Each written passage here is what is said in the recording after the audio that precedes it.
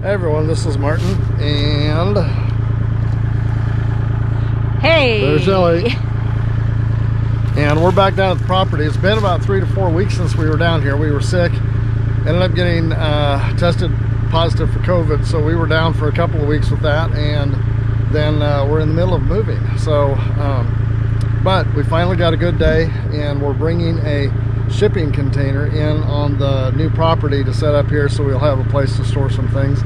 And the only problem is we're on a hill all the way down, and the shipping container needs to set as flat as we can possibly get it. So we have been grading all day and trying to get a flat spot set up here, and I believe we finally got it. So we're done.